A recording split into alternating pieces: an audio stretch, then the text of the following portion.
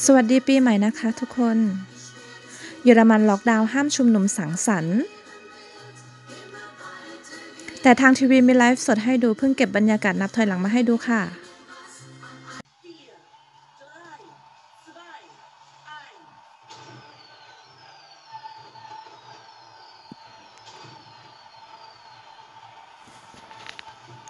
ยินดีต้อนรับปี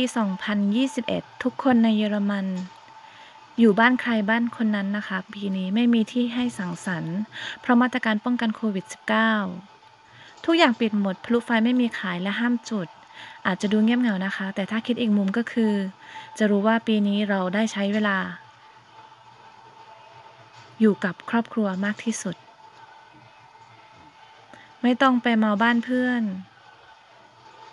ไม่ต้องไปทำงานในวันปีใหม่ ไม่ต้องเหนื่อยเดินทางไปไกล ปีนี้คุณได้อยู่บ้าน ได้นอนกอดลูกกอดแฟนกอดพ่อกอดแม่ ใช้เวลากับครอบครัว สุดท้ายขอให้ทุกคนรักษาสุขภาพ เชื่อฟังมาตรการที่รัฐบาลออกให้ปฏิบัตินะคะ เพื่อครอบครัวคนที่คุณรักและเพื่อสังคม สวัสดีปีใหม่พศ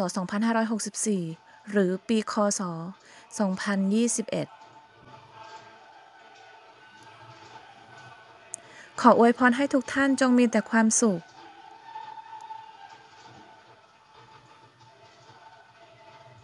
ร่ำรวยเงินทองสุขภาพแข็งแรง คิดสิ่งใดก็ขอให้สมหวังประสบผลสำเร็จ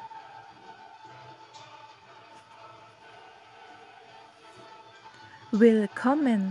2021